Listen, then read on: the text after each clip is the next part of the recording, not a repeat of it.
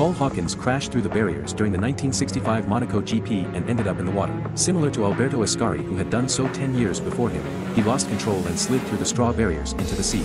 Just like Ascari, Hawkins also escaped with a scare and resurfaced unharmed.